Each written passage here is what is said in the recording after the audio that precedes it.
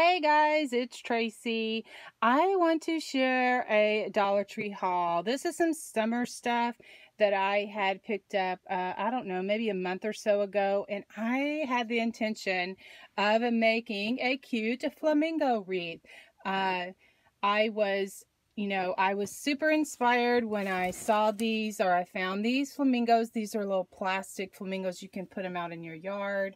It comes with little stakes turn around here. Little stakes like this. And uh, super lightweight, super, you know, fun to put onto a wreath.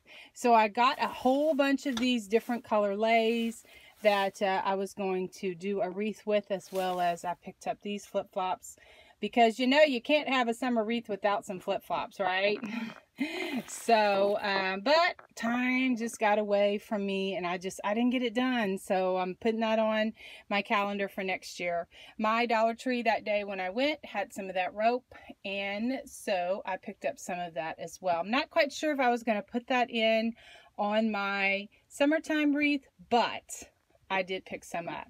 Now, these are the little flowers that I got that day that I was going to put on my summer wreath. I picked up all these different colors of hydrangeas, these little light pink and darker pink, as well as some blue and some white. So those were just super, that's what I was going to do with this wreath. I was just really going to make a big, fun summer wreath. Okay.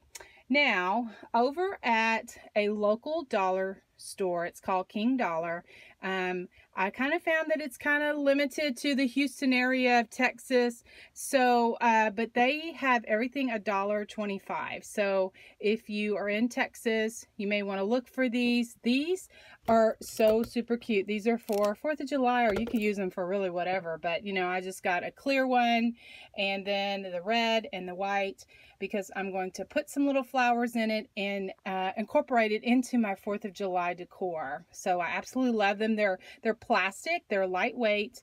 Um, I love the size and just really cool. Then um, at the Dollar Tree, I picked up some of these daisies that are red, white, and blue. And then I also picked up some red dahlias. I think they're just adorable. And um, these, I picked up, you know, several of these hydrangeas. These blue color are so pretty. So I'm going to do a DIY home decor for 4th of July and uh, hopefully I will do a video.